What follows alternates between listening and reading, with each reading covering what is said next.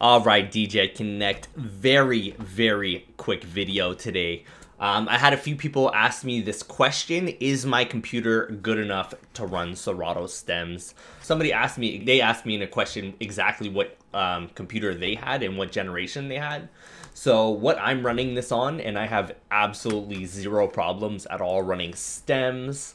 Uh, USB latency is at lowest on the one. I still run it with uh, analyze stem on load. So as soon as they load the stem, it comes on, it loads, uh, and I have no problem. I really had, didn't really have too many crashes. I had like the random crash here and there, but nothing due to how well my computer ran.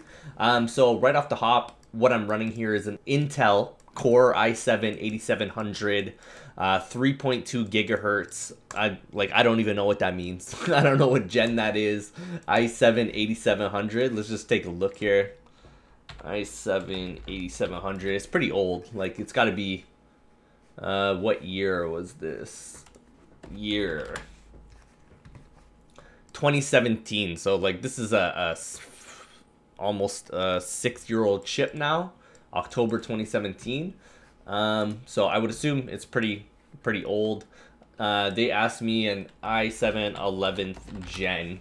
Like I don't even know what that means, but uh, let's check it out. Yeah, 11th gen, I guess. So I was in an 8th gen. He's got an 11th gen. gen. There should be absolutely no problem at all running that. Uh, 8700 CPU. Uh, I have mad RAM, like I got tons of RAM, 32 gig RAM, but I don't think that's necessary. It, I'd say at least 16 gig. Uh, I'm running the 20, I would say 2021. I've probably had it a year now.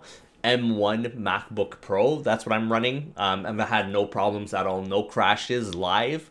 What I am going to say about stems is I, I don't think it sounds very good live, unless it was just the tracks that I was playing at that time um, three times in a row. When I ran the stems like live, it just sounded the way you would expect it to sound. Uh, it sounds great when you're at home. You can have all your settings, everything set up prepped and good to go, you can make a remix all day. But when you're actually playing live, like I didn't think it sounded very well. Um, so I only did it a couple times. I only used it a couple times at that event, but I wasn't I wasn't too impressed with it live.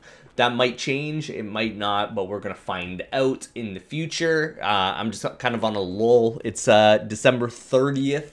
Happy New Year to everyone who's out there uh, right now. It's just that kind of that day, that week in between Christmas and New Year's that no one even knows what's going on.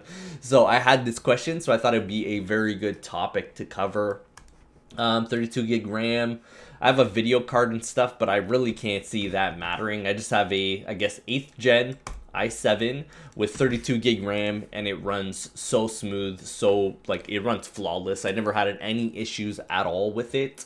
Um, I had the random crash here and there in beta, but you'd expect that. And then on my M1 MacBook Pro, um, I think everything's good. One thing I have noticed is there is a glitch that if you instant double the stem, I think, I can't confirm this or deny, but the couple times that I've done this, if you instant double that stem, you can only use um, like the stem that it's set to. If you try and change it up, you're just to get blank. The song goes away. I think this is a glitch that I found out. I haven't confirmed it, but this is something that I've ran into two times now. So I'm thinking that that is a glitch. Uh, but apart from that, make sure you guys like and subscribe to this fire nothing but content coming. 2023 is going to be crazy. Let's go, DJ Connect. Happy New Year. I'll see you next year.